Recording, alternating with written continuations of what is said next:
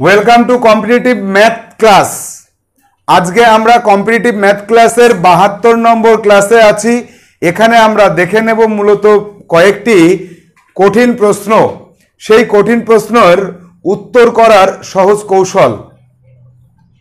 আজকে আমরা যে বিষয়গুলি জানব, সেই বিষয়গুলি সংখ্যাতত্ত্বের যে চ্যাপ্টার আমরা শেষ করে এসেছি, সেখানে আমরা দেখেছিলাম যে একটা নির্দিষ্ট রেঞ্জের মধ্যে কতগুলো সংখ্যা এবং তাদের সমষ্টি নির্ণয় করা আজকে আমরা যেটা দেখব যে একটা নির্দিষ্ট রেঞ্জের মধ্যে কতগুলি সংখ্যা আছে সেটা নির্ণয় করা যেমন যদি বলা হয় পঁয়ষট্টি থেকে আটষট্টি পর্যন্ত কটি সংখ্যা, তাহলে পঁয়ষট্টি থেকে পঁয়ষট্টি, ছেষট্টি, সাতষট্টি, আটষট্টি, চারটে কিন্তু এবার যদি বলা হয় পঁয়ষট্টি থেকে ছয়শো নব্বই পর্যন্ত কতগুলি সংখ্যা, তো কীভাবে নির্ণয় করব।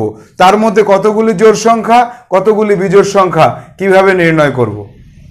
এই ধরনের প্রশ্ন কিন্তু কম্পিটিটিভ এক্সাম যেমন সরকারি চাকরির যে কোনো পরীক্ষাগুলি রয়েছে এবং রামকৃষ্ণ মিশনের অ্যাডমিশন টেস্ট আর্মি স্কুলের অ্যাডমিশন টেস্ট এবং জহর নবোদয় বিদ্যালয়ের প্রবেশিকা পরীক্ষার ক্ষেত্রে এই ধরনের প্রশ্নগুলো প্রশ্নপত্রে আমরা পেতেই পারি এবং সেই সময় আমরা ঘাবড়ে না গিয়ে কীভাবে অতি অনায়াসে সেই অঙ্কগুলোকে আমরা সলভ করে আসতে পারব, তারই আজকে শর্টকাট মেথড আমরা শিখে নেব এই ক্লাসে তো এই ক্লাসটি প্রথম থেকে শেষ পর্যন্ত গুরুত্ব সহকারে সবার ফলো করতে হবে। তো আমরা প্রথমেই দুটো প্রশ্ন পড়ে দেখতে পাচ্ছি। প্রশ্ন দুটো কি? যে পঁয়ষট্টি থেকে অষ্টআশি পর্যন্ত কতগুলি সংখ্যা আছে? কতগুলি জোর সংখ্যা আছে? কতগুলি বিজোর সংখ্যা আছে? তাহলে প্রথমে আমাদের জানতে হবে যে পঁয়ষট্টি থেকে অষ্টআশি, এই যে একটা রেঞ্জ এই রেঞ্জের মধ্যে মোট কতগুলি সংখ্যা আছে, এইটাকে আগে আমাদের নির্ণয় করতে হবে। যতগুলি সংখ্যা আছে পঁয়ষট্টি থেকে অষ্টআশি পর্যন্ত, সেই সংখ্যাগুলি নির্ণয় করার জন্য একদম সহজ যে সূত্র, সেটা হচ্ছে কত থেকে কত পর্যন্ত, এইটা আগে খেয়াল করতে হবে। তো এখানে কত থেকে কত পর্যন্ত আছে? পঁয়ষট্টি থেকে অষ্টআশি পর্যন্ত। তো আমাদের শেষ সংখ্যাটাকে প্রথমে ধরতে হবে। শেষ সংখ্যাটি কত? অষ্টআশি। আর শুরুর সংখ্যাটি কত? পঁয়ষট্টি। তাহলে শেষ যোগ এক মাইনাস শুরু, এইটা সমান সমান যতগুলি সংখ্যা আছে, যতগুলি সংখ্যা আমাদের এর মধ্যে আছে, সেইটার সূত্র হচ্ছে এইটা। শেষ যোগ এক মাইনাস শুরু, তাহলে কতগুলি সংখ্যা সেটা আমরা বের করে ফেলতে পারব? তাহলে অষ্টআশি আর এক কত হয়? উননব্বই মাইনাস পঁয়ষট্টি সমান সমান কত হলো? চব্বিশ। তাহলে মোট চব্বিশটি সংখ্যা আমাদের এই রেঞ্জের মধ্যে আছে। এই চব্বিশটি সংখ্যা নির্ণয় করার জন্য সবসময় আমরা এই সূত্রটাকে ব্যবহার করব। যদি বলা হয় যে পঁয়ষট্টি থেকে ছয়শো নব্বই পর্যন্ত কতগুলি সংখ্যা আছে, তাহলে ছয়শো নব্বই যোগ এক ছয়শো একানব্বই মাইনাস পঁয়ষট্টি। তো বিয়োগ করলেই আমরা পেয়ে যাব মোট কতগুলি সংখ্যা আছে? তো এইবার প্রশ্ন হচ্ছে, এই পঁয়ষট্টি থেকে অষ্টআশি, এর মধ্যে কতগুলি যুগ্ম সংখ্যা, কতগুলি অযুগ্ম সংখ্যা আছে? তো এই জায়গাটাতে কিন্তু আমরা সমস্যায় পড়তে পারি। এই সমস্যা সমাধান করার জন্য আমাদের বিশেষভাবে যেটা মনে রাখতে হবে, সেটা হচ্ছে প্রথম সংখ্যাটি কত এবং শেষ সংখ্যাটি কত?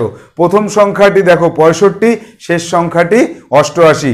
প্রথম সংখ্যা অযুগ্ম আর শেষ সংখ্যা যুগ্ম। বা প্রথম সংখ্যা যুগ্ম, শেষ সংখ্যা অযুগ্ম যদি হয়, তাহলে আমরা তার মধ্যে জোর সংখ্যক সংখ্যা পাই। দেখো, প্রথম সংখ্যা অযুগ্ম পঁয়ষট্টি আর শেষ সংখ্যা যুগ্ম অষ্টআশি। তাই যুগ্ম এবং অযুগ্মর মধ্যবর্তী চব্বিশটি সংখ্যা আছে। অর্থাৎ জোর সংখ্যক সংখ্যা থাকবে চব্বিশটি, ছাব্বিশটি, তিরিশটি, বত্রিশটি, চল্লিশটি ষাটটি, তো এরকম জোর সংখ্যক থাকবে সংখ্যা। তার মধ্যে অর্ধেক থাকবে যুগ্ম, অর্ধেক থাকবে অযুগ্ম। তাহলে আমরা দেখব যে পঁয়ষট্টি থেকে অষ্টআশি পর্যন্ত যতগুলি সংখ্যা আছে, সেই সংখ্যাগুলির অর্ধেক হবে যুগ্ম, অর্ধেক হবে অযুগ্ম। কেন? পঁয়ষট্টি অযুগ্ম আর অষ্টআশি যুগ্ম। কোনো একটা রেঞ্জ যদি যুগ্ম এবং অযুগ্ম মধ্যে সীমাবদ্ধ থাকে, তাহলে আমরা অর্ধেক সংখ্যক জোর এবং অর্ধেক সংখ্যক বিজোর সংখ্যা সেই রেঞ্জের মধ্যে পাই। তাহলে পঁয়ষট্টি থেকে অষ্টআশি পর্যন্ত কয়টি সংখ্যা আছে মোট? চব্বিশটি। তাহলে আমরা বলতে পারব যে এই চব্বিশের অর্ধেক করলে চব্বিশকে যদি আমরা অর্ধেক করি, তাহলে বারোটি পাবো যুগ্ম সংখ্যা অর্থাৎ জোর সংখ্যা এবং বারোটি পাবো অযুগ্ম সংখ্যা বা বিজোড় সংখ্যা। এটা কেন হলো? কারণ পঁয়ষট্টি এবং অষ্টআশি এই রেঞ্জটা একটা সংখ্যা বিজোড়, একটা সংখ্যা জোর এবার পরবর্তী সমস্যা আমরা দেখতে পাচ্ছি যে পঁয়ষট্টি থেকে উননব্বই পর্যন্ত মোট কতগুলি সংখ্যা, তার মধ্যে কতগুলি যুগ্ম, কতগুলি অযুগ্ম সংখ্যা। তাহলে পঁয়ষট্টি থেকে উননব্বই এটাও বিজোড় সংখ্যা, এটাও বিজোড় সংখ্যা। একটা রেঞ্জের মধ্যে যদি দুটো সংখ্যাই শুরু এবং শেষ, দুটোই যদি বিজোড় হয় তাহলে কীভাবে আমরা জোর এবং বিজোর সংখ্যা সেই রেঞ্জের মধ্যে কতগুলি আছে সেটা বের করব। তো দেখে নাও, প্রথমে আমাদের এই রেঞ্জের মধ্যে কতগুলি সংখ্যা আছে সেটাকে বের করে নিতে হবে। তো এই রেঞ্জের মধ্যে সংখ্যা আছে শেষ যোগ এক মাইনাস শুরু। তাহলে আমরা কত পেলাম? নব্বই মাইনাস পঁয়ষট্টি সমান সমান পঁচিশটি। পঁচিশটি সংখ্যা আছে। যেহেতু অষ্টআশি পর্যন্ত চব্বিশটি ছিল, তাহলে উননব্বই পর্যন্ত পঁচিশটি হবে। এটা তো একদম অল্প রেঞ্জ সেজন্য। যদি রেঞ্জটা এরকম হতো যে পঁয়ষট্টি থেকে ছয় হাজার ছয়শো পঁয়ষট্টি পর্যন্ত মোট কতগুলি সংখ্যা আছে, তাহলে সেক্ষেত্রে কিন্তু আমাদের এই সূত্র ছাড়া আমরা বের করতে পারতাম না। তো এখন এই যে পঁচিশটি সংখ্যা আছে, পঁয়ষট্টি থেকে উননব্বই পর্যন্ত। এর মধ্যে কয়টা জোর এবং কয়টা বিজোড়? তো আমাদের দেখতে হবে যে শুরু হয়েছে, বিজোড় দিয়ে শেষ হয়েছে বিজোরে এই পঁচিশটা সংখ্যার মধ্যে একটা সংখ্যা বিজোর বেশি থাকবে। যদি শুরু হতো জোর দিয়ে, শেষ হতো জোর দিয়ে, তাহলে বিজোর থেকে জোর একটা বেশি থাকতো। আর যেহেতু শুরু হয়েছে বিজোড় দিয়ে, শেষ হয়েছে বিজোর সংখ্যা দিয়ে, তাহলে বিজোর সংখ্যা একটা বেশি থাকবে। সমান সমানের থেকে একটা বিজোর বেশি থাকবে। তাহলে এই পঁচিশটি এখন সংখ্যা আছে। এর মধ্যে কয়টা জোর, কয়টা বিজোর, কীভাবে বের করব? তো যেহেতু বিজোর থেকে শুরু, বিজোর থেকে শেষ, সেহেতু আমরা প্রথমেই বিজোর সংখ্যা বের করে নেব। বিজোর সংখ্যা সমান সমান এই পঁচিশের সাথে এক যোগ করে দুই দিয়ে ভাগ করব, তাহলে কত হয়? ছাব্বিশ ভাগ দুই সমান সমান তেরো। এই তেরোটি থাকবে বিজোর সংখ্যা। আর জোর সংখ্যা থাকবে কয়টি? জোর সংখ্যা থাকবে, তার থেকে একটি কম, তেরো মাইনাস এক সমান সমান বারোটি থাকবে জোর সংখ্যা। কেন? একটা বিজোর বেশি হলো আর কেন একটা জোর কম হলো? কারণ এখানে রেঞ্জটা শুরু হয়েছে বিজোর থেকে এবং রেঞ্জটা শেষও হয়েছে বিজোরে বলছে পঁয়ষট্টি থেকে উননব্বই পর্যন্ত মোট কতগুলি জোর কতগুলি বিজোর তাহলে শুরু এবং শেষ যদি বিজোর হয়, তাহলে বিজোর থাকবে একটা বেশি আর জোর থাকবে একটা কম। তাই এখানে বিজোর সংখ্যা তেরোটি আর জোর সংখ্যা বারোটি। তো এই সমস্যাটি যদি এবার জোর দিয়ে শুরু এবং জোর দিয়ে শেষ হয় তাহলে কীভাবে নির্ণয় করব? একই রকমভাবে নির্ণয় করব, শুধু আমরা উদাহরণটা এবার দেখে নেব। তো এবারে আমরা দেখছি যে দুটো সংখ্যা, যাদের রেঞ্জ শুরু এবং শেষ, দুটোই জোর। ছেষট্টি থেকে আটানব্বই পর্যন্ত কতগুলি যুগ্ম এবং কতগুলি অযুগ্ম সংখ্যা আছে? তাহলে শুরুটাও জোর, শেষটাও জোর। তাহলে জোর একটা বেশি থাকবে বিজোর একটা কম থাকবে। মোট কতগুলি সংখ্যা আছে? ছেষট্টি থেকে আটানব্বই পর্যন্ত। শেষ যোগ এক মাইনাস শুরু। তাহলে আটানব্বই, নিরানব্বই মাইনাস ছেষট্টি থাকল তিন তিন। তেত্রিশটি সংখ্যা আছে মোট। এই রেঞ্জের মধ্যে তেত্রিশটি সংখ্যা আছে। তো জোর সংখ্যা একটা বেশি থাকবে কারণ শুরু এবং শেষ দুটোই জোর সংখ্যা। তাহলে আমরা এখানে বের করব জোর সংখ্যা সমান সমান তেত্রিশ যোগ এক বাই টু। সমান সমান চৌত্রিশ বাই টু সমান সমান সতেরোটি। তাহলে সতেরোটি থাকবে জোর সংখ্যা, তার থেকে একটি কম থাকবে বিজোড় সংখ্যা।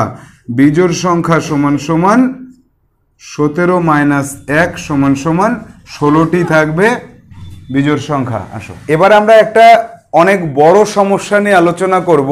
একটি সমস্যার মধ্যে অনেকগুলি প্রশ্নের উত্তর আমরা খুঁজে বের করব, যেটা প্রতিটি কম্পিটিটিভ এক্সামের ক্ষেত্রে ভীষণ ভীষণ, ভীষণভাবে গুরুত্বপূর্ণ। তো সমস্যাগুলিকে আমরা দেখব যে তিরিশ থেকে পঁয়ষট্টি পর্যন্ত সংখ্যাগুলোর সমষ্টি নির্ণয় করো। অর্থাৎ তিরিশ থেকে পঁয়ষট্টি পর্যন্ত কতগুলি সংখ্যা আছে, সেই সংখ্যাগুলির সমষ্টি নির্ণয় করার পদ্ধতি আমরা আগেই শিখে নিয়েছি, সেইখান থেকে আমরা করব। এবার কথা হচ্ছে তিরিশ থেকে পঁয়ষট্টি পর্যন্ত যুগ্ম সংখ্যা এবং অযুগ্ম সংখ্যা সমষ্টিগুলি নির্ণয় করো। তো আমরা তো আগে এক থেকে পঁয়ষট্টি পর্যন্ত যতগুলি সংখ্যা আছে তাদের সমষ্টি নির্ণয় করা, এক থেকে পঁয়ষট্টি পর্যন্ত যতগুলি অযুগ্ম সংখ্যা আছে তাদের সমষ্টি নির্ণয় করা এবং কতগুলো যুগ্ম সংখ্যা আছে তাদের সমষ্টি নির্ণয় করার পদ্ধতি শিখেছি। কিন্তু যদি তিরিশ থেকে পঁয়ষট্টি এই রেঞ্জের মধ্যে যুগ্ম এবং অযুগ্ম সংখ্যার সমষ্টি নির্ণয় করতে বলে তাহলে আমরা কীভাবে করব? এটা এখনও আমাদের শেখা হয়নি। আজকের এই ক্লাসে আমরা সেটা শিখে নেব। এবং পরবর্তী যে প্রশ্নটি রয়েছে যে যুগ্ম এবং অযুগ্ম সংখ্যাগুলির সমষ্টির অন্তর কত? তাহলে যুগ্ম সংখ্যার সমষ্টি এবং অযুগ্ম সংখ্যার সমষ্টি নির্ণয় করব এবং তারপরে তাদের বিয়োগফল নির্ণয় করলে অন্তর পাওয়া যাবে। এবার তিরিশ থেকে পঁয়ষট্টি পর্যন্ত যতগুলি সংখ্যা আছে, তার মধ্যে যৌগিক সংখ্যা এবং মৌলিক সংখ্যা কতগুলি করে এবং তাদের সমষ্টি কত। তাহলে এক্ষেত্রে আমরা দেখে নেব যে কীভাবে মৌলিক সংখ্যাগুলোর সমষ্টি নির্ণয় করতে হয় এবং যৌগিক সংখ্যাগুলির সমষ্টি নির্ণয় করতে হয় কীভাবে। তো এই যে এতগুলি প্রশ্নের উত্তর আমরা আজকে এখন করব, এই প্রত্যেকটা বিষয় কিন্তু আমাদের আজকের এই ক্লাসের পর থেকে মনে রাখতে হবে যেটা কম্পিটিটিভ এক্সামের হলে গিয়ে আর যেন কোনো সমস্যা না হয়। তাহলে এবার আমরা দেখে নেব যে সমস্যাগুলি কীভাবে সমাধান করব। তো প্রথমেই আমরা দেখে নেব তিরিশ থেকে পঁয়ষট্টি পর্যন্ত মোট কতগুলি সংখ্যা আছে। তো সেই একই সূত্র যে শেষ যোগ এক মাইনাস শুরু সমান সমান আমরা পেলাম পঁয়ষট্টি যোগ এক সমান সমান ছেষট্টি মাইনাস তিরিশ ছত্রিশটি। এই ছত্রিশটি সংখ্যার মধ্যে আঠেরোটি হবে যুগ্ম এবং আঠেরোটি অযুগ্ম কেন? এখানে একটা যুগ্ম সংখ্যা দিয়ে শুরু হয়েছে, শেষ হয়েছে অযুগ্ম সংখ্যায়। তাহলে আমরা একটু আগেই জেনেছি যে যুগ্ম সংখ্যায় শুরু এবং অযুগ্ম সংখ্যায় শেষ, তাহলে অর্ধেক যুগ্ম, অর্ধেক অযুগ্ম হয়। যদি অযুগ্ম সংখ্যায় শুরু এবং যুগ্ম সংখ্যায় শেষ হয়, তাহলে সেই অর্ধেক অর্ধেক যুগ্ম, অযুগ্ম পাওয়া যায়। যদি যুগ্ময় শুরু এবং যুগ্ময় শেষ হয়, তাহলে একটা যুগ্ম সংখ্যা বেশি পাওয়া যায়। অযুগ্ম সংখ্যায় শুরু এবং অযুগ্ম সংখ্যায় শেষ, তাহলে একটা অযুগ্ম সংখ্যা বেশি পাওয়া যায়। তো এক্ষেত্রে আমরা কি পাচ্ছি? যুগ্ম সংখ্যায় শুরু এবং অযুগ্ম সংখ্যায় শেষ, তাহলে ছত্রিশটি সংখ্যা হলে আঠেরোটি হবে যুগ্ম এবং আঠেরোটি হবে অযুগ্ম সংখ্যা। এবার আমরা চলে যাব যে তিরিশ থেকে পঁয়ষট্টি পর্যন্ত যে ছত্রিশটি সংখ্যা আছে, তাদের সমষ্টি কীভাবে নির্ণয় করতে হয়। তাহলে আমরা সেই মাদার সূত্রতে চলে যাব, সংখ্যাতত্ত্বের ক্লাসে আমরা দেখেছিলাম যে শেষ যোগ শুরু ইন্টু শেষ যোগ এক মাইনাস শুরু বাই টু তাহলে সেই সমাধান করে আমরা পেলাম পঁচানব্বই গুণ ছত্রিশ বাই টু ছত্রিশ আর দুইকে কাটাকাটি করে পেলাম আঠেরো। আঠেরো গুণ পঁচানব্বই সমান সমান সতেরোশো দশ। এইটা হচ্ছে তিরিশ থেকে পঁয়ষট্টি পর্যন্ত যতগুলি সংখ্যা আছে, তাদের সমষ্টি নির্ণয় করলাম। এবার আমরা চলে আসব যে এই পঁয়ষট্টি পর্যন্ত, তিরিশ থেকে পঁয়ষট্টি পর্যন্ত যতগুলো যুগ্ম সংখ্যা আছে, তাদের সমষ্টি কীভাবে নির্ণয় করব। তো এক্ষেত্রে মনে রাখতে হবে যে তিরিশ থেকে পঁয়ষট্টি পর্যন্ত আঠেরোটি যুগ্ম সংখ্যা আছে। ওই আঠেরোটি যুগ্ম সংখ্যার সমষ্টি নির্ণয় করার জন্য স্পেসিফিক কোনো সূত্র আমাদের কাছে নেই। তার জন্য আমরা কি করব? আমরা দেখব পঁয়ষট্টি পর্যন্ত, এক থেকে পঁয়ষট্টি পর্যন্ত মোট কতগুলো যুগ্ম সংখ্যা? আর এই যে তিরিশ থেকে পঁয়ষট্টি শুরু হয়েছে, এই রেঞ্জের বাইরে এক থেকে উনতিরিশ পর্যন্ত কতগুলি যুগ্ম সংখ্যা আছে? তো আমরা দেখলাম যে এক থেকে পঁয়ষট্টি পর্যন্ত যদি আমরা হিসাব করি, তাহলে আমরা যুগ্ম সংখ্যা পাব বত্রিশটি।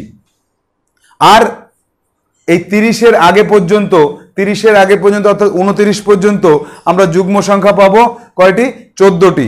তাহলে আমরা যদি ওই বত্রিশটি যুগ্ম সংখ্যার সমষ্টি নির্ণয় করে, তার থেকে উনতিরিশ পর্যন্ত যে কটা যুগ্ম সংখ্যা আছে, অর্থাৎ চোদ্দটি যুগ্ম সংখ্যা আছে, তাদের বিয়োগ করে দিই সেই সমষ্টিকে, তাহলে আমরা পেয়ে যাব এই যে আঠেরোটি, এই রেঞ্জের মধ্যে থাকা আঠেরোটি যুগ্ম সংখ্যার সমষ্টি। তাহলে আমরা কি করছি?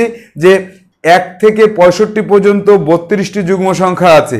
তাদের সমষ্টি বত্রিশ গুণ তেত্রিশ। আবার এক থেকে উনতিরিশ, এই তিরিশের আগে পর্যন্ত, উনতিরিশ পর্যন্ত চোদ্দটি যুগ্ম সংখ্যা আছে। তাদের সমষ্টিগত চোদ্দ গুণ পনেরো। তাহলে আমরা এই বত্রিশ গুণ তেত্রিশ করে পেয়েছি এক হাজার ছাপ্পান্ন, চোদ্দ গুণ পনেরো করে পেয়েছি দুশো দশ। এই দুটোর বিয়োগফল পেয়েছি আটশো ছেচল্লিশ। অর্থাৎ প্রথম বত্রিশটি যুগ্ম সংখ্যার সমষ্টি মাইনাস প্রথম চোদ্দটি যুগ্ম সংখ্যার সমষ্টি। তাহলে পরবর্তী আঠেরোটি যুগ্ম সংখ্যার সমষ্টি পেলাম আটশো ছেচল্লিশ। এইবার চলে যাব অযুগ্ম সংখ্যার সমষ্টি নির্ণয় করতে হবে কীভাবে? তো আমরা পঁয়ষট্টি পর্যন্ত এক থেকে তেত্রিশটি অযুগ্ম সংখ্যা আছে। আবার তিরিশের আগে উনতিরিশ পর্যন্ত পনেরোটি অযুগ্ম সংখ্যা আছে। তাহলে সেই তেত্রিশটি অযুগ্ম সংখ্যার সমষ্টি হচ্ছে তেত্রিশ গুণ তেত্রিশ, আর পনেরোটি অযুগ্ম সংখ্যার সমষ্টি হচ্ছে পনেরো গুণ পনেরো। তাই তেত্রিশ গুণ তেত্রিশ করে পেয়েছি হাজার উননব্বই, পনেরো গুণ পনেরো করে পেয়েছি দুশো পঁচিশ। তো এই বিয়োগফলটা আমরা পেলাম আটশো চৌষট্টি। তাহলে তিরিশ থেকে পঁয়ষট্টি পর্যন্ত যুগ্ম সংখ্যাগুলির সমষ্টি পেয়েছি আটশো ছেচল্লিশ আর অযুগ্ম সংখ্যার সমষ্টি পেয়েছি আটশো চৌষট্টি। তো এই আটশো ছেচল্লিশ এবং আটশো চৌষট্টি এই দুটো উত্তর আমার সঠিক কিনা সেটা আমি যাচাই করে নেব যে এই যুগ্ম সংখ্যাগুলির সমষ্টি আর অযুগ্ম সংখ্যাগুলোর সমষ্টি এদেরকে যদি যোগ করি তাহলে টোটাল সংখ্যার সমষ্টি পাবো আর টোটাল যতগুলো সংখ্যা আছে তাদের সমষ্টি হয়েছে সতেরোশো দশ। তাহলে এই দুটোকে একবার একটু যোগ করে দেখি যে সতেরোশো দশ হয়েছে কিনা, তাহলে আমি পরীক্ষার হলে নিজেই বলে আসতে পারব যে আমার এই দুটো সমষ্টি সঠিক হয়েছে, এই সমষ্টির সঙ্গে মিলে গেছে। তাহলে এই দুটো যোগ করেও পাচ্ছি সতেরোশো দশ। তাহলে আমরা কি বলতে পারব? যে তিরিশ থেকে পঁয়ষট্টি পর্যন্ত যতগুলি যুগ্ম সংখ্যা আছে, তাদের সমষ্টি এবং যতগুলো অযুগ্ম সংখ্যা আছে, তাদের সমষ্টি দুটোই আমার সঠিক অ্যান্সার হয়েছে, কারণ এই দুটোর সমষ্টি টোটাল সংখ্যার সমষ্টির সমান হয়েছে। এবার আমরা চলে আসব যে যুগ্ম ও অযুগ্ম সংখ্যার সমষ্টির পার্থক্য কত?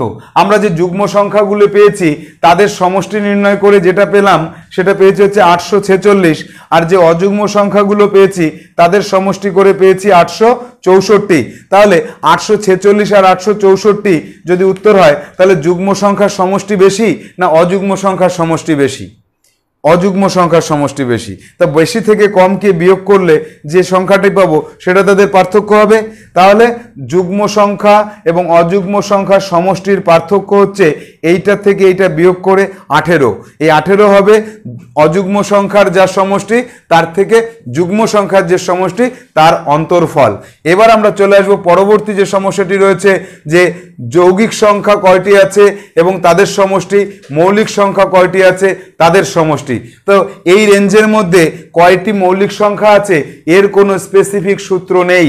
এক্ষেত্রে আমাদের গুণে দেখতে হবে যে মৌলিক সংখ্যা কতগুলি। তো আমরা এক থেকে একশো পর্যন্ত কতগুলি মৌলিক সংখ্যা আছে, সেগুলি অলরেডি আমাদের সংখ্যাতত্ত্বের ক্লাসগুলোতে আমরা মুখস্থ করে ফেলেছি।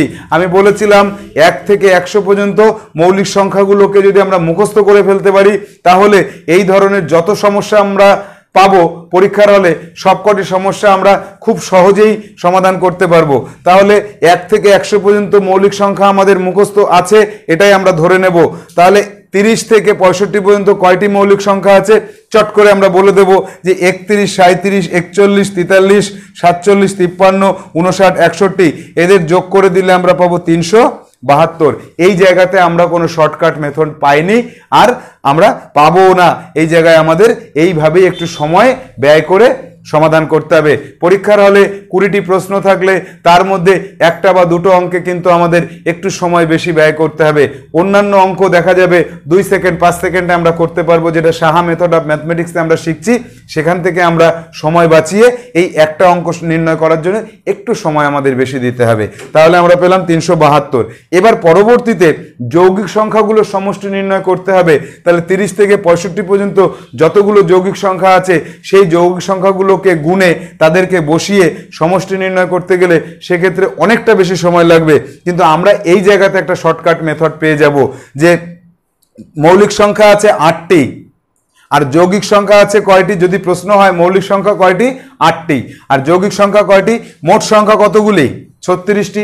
তার থেকে আটটি মৌলিক সংখ্যা বিয়োগ করলে আমরা পেয়ে যাব আঠাশটি যৌগিক সংখ্যা। এই আঠাশটি যৌগিক সংখ্যাকে পরপর বসিয়ে আমরা যোগ করব না। আমরা কি করব? যে টোটাল সংখ্যার সমষ্টি কত পেয়েছি? সতেরোশো দশ। তার থেকে যদি মৌলিক সংখ্যার সমষ্টিকে বিয়োগ করে দিই, পড়ে থাকবে যৌগিক সংখ্যাগুলির সমষ্টি, তো এক্ষেত্রে আমরা এই টেকনিকটা অ্যাপ্লাই করব যে সমগ্র সংখ্যার সমষ্টি থেকে মৌলিক সংখ্যাগুলির সমষ্টিকে বিয়োগ করে দেব, পড়ে থাকবে যেটা, সেটা হবে যৌগিক সংখ্যাগুলির সমষ্টি। তো এই জায়গাতে কিন্তু আমরা একটু সময় সাশ্রয় করতে পারলাম। এবার পরবর্তী যে প্রশ্নটি রয়েছে, যৌগিক সংখ্যাগুলির সমষ্টি এবং মৌলিক সংখ্যাগুলির সমষ্টির পার্থক্য কত? তাহলে মৌলিক সংখ্যাগুলির সমষ্টি হচ্ছে তিনশো বাহাত্তর আর যৌগিক সংখ্যাগুলির সমষ্টি হচ্ছে তেরোশো আটত্রিশ। তাহলে এই সংখ্যা থেকে এই সংখ্যা বিয়োগ করলে এদের পার্থক্য আমরা পেয়ে যাব। তাহলে আমরা কি করছি? যে যৌগিক সংখ্যার সমষ্টি আর মৌলিক সংখ্যার সমষ্টিকে বিয়োগ করে দিয়ে আমরা যেটা পেলাম ছয়শো ছেষট্টি। এই তেরোশো আটত্রিশ থেকে তিনশো বাহাত্তরকে বিয়োগ করে ছয়শো ছেষট্টি পেলাম। এটাই হবে যৌগিক সংখ্যাগুলির সমষ্টি এবং মৌলিক সংখ্যাগুলির সমষ্টির অন্তর্ফল বা পার্থক্য। তাহলে এই ধরনের সমস্যা যদি আমাদের কম্পিটিটিভ এক্সামে আসে, আমরা মাথা ঠান্ডা করে সঠিকভাবে স্টেপ বাই স্টেপ অঙ্কগুলোকে যদি করে যেতে পারি, তাহলে আমরা সঠিক অ্যান্সার প্রদান করতে পারব। এবার আমরা জেনে নেব আরও বেশ কয়েকটি গুরুত্বপূর্ণ প্রশ্ন এবং তাদের উত্তর করার কৌশল। এই যে প্রশ্নগুলি আমরা বোর্ডে এবার সমাধান করব, এই প্রশ্নগুলির কিন্তু উত্তর করার জন্য আমাদের খাতা পেনের দরকার হবে না, শুধুমাত্র আমাদের বুদ্ধি অ্যাপ্লাই করতে হবে। এবং সেই বুদ্ধিদীপ্ত উত্তরগুলো আজকে আমাদের শিখে নিতে হবে যে এই সমস্যাগুলি যদি আসে পরীক্ষায়, আমরা কীভাবে তার উত্তর করব। তো প্রথম প্রশ্নটা কি আছে? বৃহত্তম ও ক্ষুদ্রতম মৌলিক সংখ্যার সমষ্টি এবং অন্তর নির্ণয় করো। তা বৃহত্তম মৌলিক সংখ্যা কত? অজানা, অনির্ণয়, অসীম ইনফিনিটি ক্ষুদ্রতম মৌলিক সংখ্যা কত? দুই। তাহলে অজানা একটা সংখ্যার থেকে দুই যদি বিয়োগ করি, তাহলেও সেই অজানা থাকে। আর যদি অজানা একটা সংখ্যার সাথে বা অসীম একটা সংখ্যার সঙ্গে দুইকে যোগ করি, তাহলে সেই অজানা বা অসীম সংখ্যায় থাকে। তাহলে এই প্রশ্নের উত্তর কি হবে? বৃহত্তম ক্ষুদ্রতম মৌলিক সংখ্যার সমষ্টি কত? অসীম। অন্তর কত? অসীম। তাহলে এখানে দুটো উত্তরই হবে, অসীম বা অনির্ণেয়। আবার বলছে, বৃহত্তম ক্ষুদ্রতম যৌগিক সংখ্যার সমষ্টি এবং অন্তর্গত। বৃহত্তম যৌগিক সংখ্যা অসীম আর ক্ষুদ্রতম যৌগিক সংখ্যা চার। তাহলে অসীমের সঙ্গে চার যোগ করলে সেটাও অসীম হয় আর অসীমের থেকে চার বিয়োগ করলে সেটা অসীম হয়। তাহলে বৃহত্তম যৌগিক সংখ্যা এবং ক্ষুদ্রতম যৌগিক সংখ্যার সমষ্টিও অসীম, অন্তরও অসীম। চলে আসব পরবর্তী সমস্যায়। ক্ষুদ্রতম যৌগিক সংখ্যা এবং ক্ষুদ্রতম মৌলিক সংখ্যার সমষ্টি এবং অন্তর কত? এই জায়গাটা কিন্তু আমরা অসীম পাচ্ছি না। ক্ষুদ্রতম যৌগিক সংখ্যা হচ্ছে চার আর ক্ষুদ্রতম মৌলিক সংখ্যা হচ্ছে দুই। এদের সমষ্টি ছয় আর এদের অন্তর হচ্ছে দুই। এবার চলে আসব পরবর্তী যে সমস্যাটি, সেটা একটা মজাদার সমস্যা। এখানে আমাদের মধ্যে অনেক দ্বিমত থাকবে। একটা কনফ্লিক্ট থেকে যাবে। সমস্যাটি কি? যে বৃহত্তম যৌগিক সংখ্যা এবং বৃহত্তম মৌলিক সংখ্যার সমষ্টি কত? অন্তর কত? সমষ্টির ক্ষেত্রে আমাদের কোনো সমস্যা নেই, কারণ বৃহত্তম যৌগিক সংখ্যাটি হচ্ছে একটি অসীম সংখ্যা আর বৃহত্তম মৌলিক সংখ্যাটিও একটি অসীম সংখ্যা। দুটো অসীম সংখ্যাকে যোগ করলে আমরা যেটা পাবো সেটাও অসীম হবে। তাহলে এই পাঠটুকু যে বৃহত্তম যৌগিক ও বৃহত্তম মৌলিক সংখ্যার সমষ্টি কত, এইটা হয়ে যাবে অসীম। এখানে কোনো সমস্যা হবে না। কেন? অসীম যোগ অসীম, কত হয়? অসীম। কিন্তু যদি অন্তর নির্ণয় করতে বলে, তাহলে বৃহত্তম যৌগিক সংখ্যাটি কত? অসীম। আবার বৃহত্তম মৌলিক সংখ্যাটি কত? অসীম। তাহলে অসীম থেকে অসীম যদি বিয়োগ করি, তাহলে বিয়োগফল শূন্য হতে পারে। অসীম বিয়োগ অসীম, কত হয়? শূন্য আবার অসীম যেহেতু আমরা জানি না, সেটা অনির্ণেয়। সে অনির্ণেয় থেকে অনির্ণেয় বিয়োগ করলে সেটাও অনির্ণেয় বা অসীম আমরা বলতে পারি। তাহলে অসীম বিয়োগ অসীম সমান সমান শূন্য অথবা অসীম বিয়োগ অসীম সমান সমান অসীম। তো এই প্রশ্নটা যদি আমাদের পরীক্ষায় আসে, তখন আমরা কি করব? তাহলে বৃহত্তম যৌগিক সংখ্যা বিয়োগ বৃহত্তম মৌলিক সংখ্যা, তাহলে অসীম বিয়োগ অসীম, শূন্য যদি আমরা করি, সেক্ষেত্রে আমাদের একদম সঠিক অ্যান্সার হবে। আবার অসীম বিয়োগ অসীম সমান সমান অসীম যদি করি, সেক্ষেত্রেও সঠিক অ্যান্সার হবে। এবার যদি থাকে যে প্রশ্নে অপশান চারটের মধ্যে শূন্য আছে, অসীমও আছে, তাহলে আমরা কি করব? সেক্ষেত্রে আমাদের এই দুটো উত্তরকেই সঠিক বলে গণ্য করতে হবে। আমরা দুটোর যে কোনো একটা যদি উত্তর করে আসি, আমরা সঠিক উত্তর প্রদান করব এবং সেই নম্বরটি আমরা পেয়ে যাব। আজকের অঙ্ক ক্লাসে আমাদের শেষ একটি প্রশ্নের উত্তর আমরা জেনে নেব। এই প্রশ্নটির উত্তর করার জন্য আমাদের খাতা, পেনের দরকার হবে না, কোনো সমস্যার সমাধান করার দরকার হবে না, শুধু একটু বুদ্ধি প্রয়োগ করতে হবে যে সমস্যাটি হলো যে মৌলিক সংখ্যা সর্বদা বিজোড় হয় কেন? তো আমরা জানি যে মৌলিক সংখ্যা দুই বাদ দিয়ে বাকি সবকটি বিজোড়। দুই এমন একটা মৌলিক সংখ্যা যা জোর। দুই কেন জোর হওয়া সত্ত্বেও মৌলিক, আর বাকিরা কেন জোর সংখ্যা হলে মৌলিক হতে পারে না, এই কনফিউশনটা আমরা সংখ্যাতত্ত্বের ক্লাসেও আলোচনা করেছি। আজকেও আরেকবার আলোচনা করে নিচ্ছি যে দুই জোর সংখ্যা, কিন্তু দুইয়ের আমরা মাত্র দুটো উৎপাদক পেয়ে থাকি, এক এবং দুই।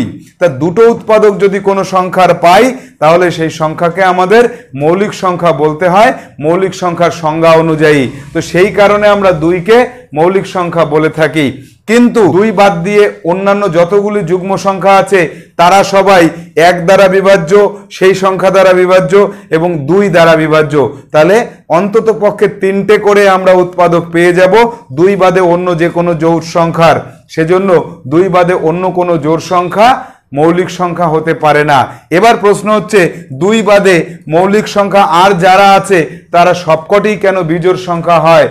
অন্য সবকটি মৌলিক সংখ্যাগুলি বিজোড় হয় এই কারণে বিজোড় সংখ্যা যদি হয়, তাহলে সেই সংখ্যা এক এবং সেই সংখ্যা দ্বারা বিভাজ্য হওয়ার পরে আর অন্য কোনো সংখ্যা দ্বারা বিভাজ্য নাও হতে পারে। যখনই অন্য কোনো সংখ্যা দ্বারা বিভাজ্য হয় না, তখন সেটা মৌলিক সংখ্যার পর্যায়ে পড়ে যায়। যে বিজোর বাদ দিয়ে যদি আমরা অন্য কোনো জোর সংখ্যাকে ধরি, তাহলে সেটা সর্বদা যেহেতু দুই দ্বারা বিভাজ্য, তাই দুই বাদে আর কোনো জোর সংখ্যা যেহেতু মৌলিক হতে পারে না, তাহলে অন্যান্য যত মৌলিক সংখ্যা আছে, সে সবকটি কিন্তু অযুগ্ম বা বিজোড় সংখ্যা হয়। আজকের এই ক্লাসে আমরা সংখ্যা তত্ত্বের উপরে আমরা যে বিষয়গুলিকে জানলাম, এই বিষয়গুলি কম্পিটিটিভ এক্সামের ক্ষেত্রে খুবই গুরুত্বপূর্ণ।